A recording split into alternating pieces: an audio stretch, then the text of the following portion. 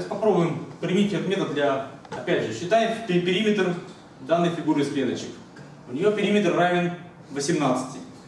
Так как он должен делиться пополам, то точки, э, отстоящие друг от друга на 9, будут концами разреза в случае разреза на равные части. Попробуем их пронумеровать цифрами от 1 до 9, все точки на периметре. Становится понятно, что некоторые точки концами разреза быть не могут. Например, из этой вершины разрез никак не может выходить, если разрез проходит по линиям сетки. Он будет выходить либо в двойке, либо в девятке.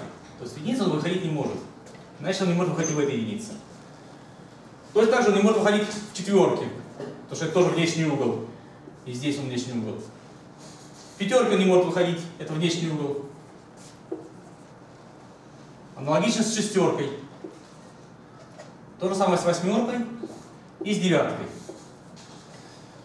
Осталось у нас 2, 3 и 7 варианты. Из двойки выходить не может разрез, потому что там он отрезает одну клеточку, и двух равных частей очевидно не получится. Поэтому остается рассмотреть два варианта. Тройки и семерки. Ну давайте попробуем рассмотреть для начала семерку. Тогда у нас разрез здесь проходит вот так и вот так. Ну, я, очевидно, что дальше он должен повернуть сюда, здесь сюда и сюда. По-другому у нас просто две точки никак не соединяются по линиям сетки. Фигуры получились, очевидно, неравными. Значит, семерка тоже неудачный вариант.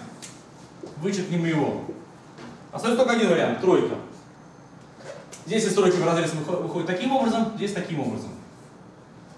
Ну и надо соединить эти концы разреза.